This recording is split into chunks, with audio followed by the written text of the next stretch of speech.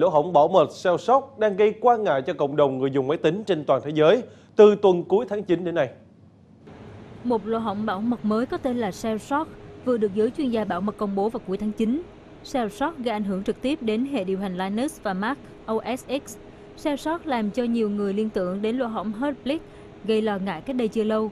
Tuy nhiên, theo các chuyên gia bảo mật, Shell Shock tác động đến các thiết bị kết nối Internet như thiết bị y tế và điều khiển.